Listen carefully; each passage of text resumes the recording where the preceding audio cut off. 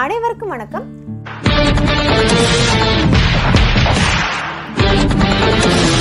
இப்போ எல்லாருக்குமே ஒரு பெரிய தலைவலியை கொடுக்குற விஷயம் என்னன்னு சொல்லி கேட்டிங்கன்னா இந்த எலக்ட்ரிசிட்டி பில் தான்.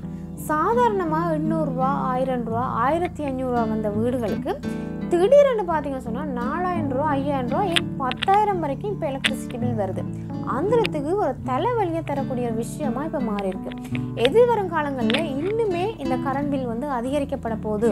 என்ற ஒரு அதிர்ச்சிகரமான தகவலும் இருக்குது இந்த வீடியோ மூலமாக உங்களுக்கு நான் என்ன சொல்ல வந்தேன்னு சொல்லி கேட்டிங்கன்னு சொன்னால் இலங்கையினுடைய பாராளுமன்ற உறுப்பினர்களுடைய ரெண்டாயிரத்தி இருபத்தி ரெண்டாம் ஆண்டு இப்போ பார்த்தீங்கன்னு சொன்னால் ரெண்டாயிரத்தி இருபத்தி மூணாம் ஆண்டு ஆல்மோஸ்ட் இப்போ நவம்பரும் வந்து முடிய போது டிசம்பர் மட்டும்தான் இருக்குது. இந்த ரெண்டாயிரத்தி இருபத்தி மூணு கிடையாது ரெண்டாயிரத்தி இருபத்தி ரெண்டில் இலங்கையினுடைய பாராளுமன்ற உறுப்பினர்களுடைய உத்தியோகபூர்வ இல்லங்கள். அந்த வேர்டை கொஞ்சம் ஹைலைட்டாக பாருங்கள் உத்தியோகபூர்வ இல்லங்கள். இப்போ பாராளுமன்ற உறுப்பினர்களுக்கு வந்து அவங்களுடைய ஏரியாவில் ஒரு வீடு இருக்கும். கொழும்புல கட்டாயம் இன்னும் ஒரு வீடு இருக்கும்.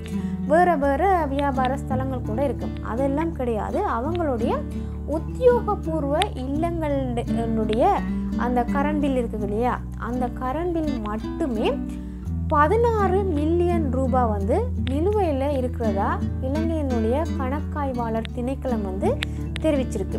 என்ன விஷயம்னு சொல்லி கேட்டிங்கன்னா பாராளுமன்ற உறுப்பினர்கள் கட்டப்படாத கரண்ட் பில் வந்து பதினாறு மில்லியன் ரூபாய். இந்த பதினாறு மில்லியன் ரூபாவை வந்து கலெக்ட் பண்ணி எடுத்தாலே இலங்கையில் இப்போ இருக்கக்கூடிய பல பிரச்சனைகளை வந்து தீர்க்கலாம். அந்தளவு தொகை இன்னுமே செலுத்தப்படாமல் இருக்கு. இதுல எல்லாம் பார்த்தீங்கன்னு சொன்னால் அதாவது இந்த ஸ்ரீலங்காவில் வந்து இந்த கிரைசிஸ் வர்றதுக்கு முதல் பார்த்தீங்க சொன்னால் ஒரு குறிப்பிட்ட தொகைக்கு மேலே போன பிறகு எங்களுக்கு வந்து ரெட் பில் அனுப்புவாங்க. அதாவது ஒரு வார்னிங் மாதிரி உங்களுடைய கரண்ட் பில்லை வந்து கட்டுங்கன்றதுக்கான ஒரு வார்னிங் பில் மாதிரி ஒன்று வரும்.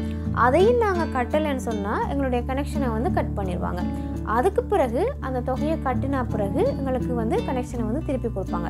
இப்போயெல்லாம் பார்த்தீங்கன்னு சொன்னால் மூன்று மாதத்துலேயே ஒரு வீட்டுக்கு வந்து ரெட் பில் அனுப்பிடுவாங்க மூன்று மாதத்தில் ரெட் பில் அனுப்பி நீங்கள் கட்டலைன்னு சொன்னால் பவரை வந்து கட் பண்ணிடுவாங்க அதுக்கு பிறகு அந்த பில்லினுடைய மொத்த காசையும் வந்து கட்டினா பிறகு தான் உங்களுக்கு கனெக்ஷன் வந்து திரும்ப கிடைக்கும்.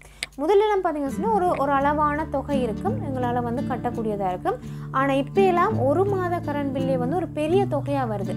ரெட் பில் வந்த பிறகு நிறைய வீடுகளுக்கு வந்து கரண்டை வந்து கட் பண்ண பிறகு அவங்க வந்து கடனை வாங்கியோ இல்லாட்டி ஏதாவது நகைகளை வந்து அடகு வச்சோ தான் அந்த பெருந்தொகையான பணத்தை வந்து எலக்ட்ரிசிட்டி போர்ட்டுக்கு வந்து கட்டுறாங்க. அதுதான் இன்றைக்கு பெரும்பாலான இடங்களில் வந்து நடக்குது. கடந்த ஒரு சில வாரங்களுக்கு முதல் பார்த்தீங்கன்னு சொன்னால் இலங்கையில் இருக்கக்கூடிய அஞ்சு லட்சம் பேரினுடைய வீடுகள் வியாபார நிலையங்கள் இது எல்லாத்துலேயும் இருக்கக்கூடிய கரண்டை வந்து கட் பண்ணியிருந்தாங்க. கட் பண்ண பிறகு இவங்க எல்லாருமே அந்த அவங்களுடைய மொத்த கரண்ட் பில்லை வந்து கட்டினா பிறகு தான் அவங்களுக்கு வந்து கனெக்ஷன் வந்து கொடுக்கப்பட்டிருந்தது. இப்படி சாதாரண மக்களினுடைய வீட்டுக்கு கரண்டை வந்து கட் பண்ணி அந்த கரண்ட் பில்லை வந்து கட்ட வைக்கிற நீங்கள் இந்த பாராளுமன்ற உறுப்பினர்களுடைய இப்படி இவ்வளோ பெரிய ஒரு நிலுவைத் தொகையை ஏன் வந்து கட்ட வைக்க முடியாத நிலையில் இருக்கிறீங்கன்றது வந்து என்னுடைய கேள்வியாக இருக்குது. இல்லை இன்னும் ஒரு கவனிக்கப்பட வேண்டிய விஷயம் என்ன சொல்லி கேட்டிங்கன்னு சொன்னால் நான் சொன்ன இந்த பதினாறு மில்லியன் ரூபாய் ரெண்டாயிரத்தி இருபத்தி ரெண்டாம் ஆண்டுக்குரியது.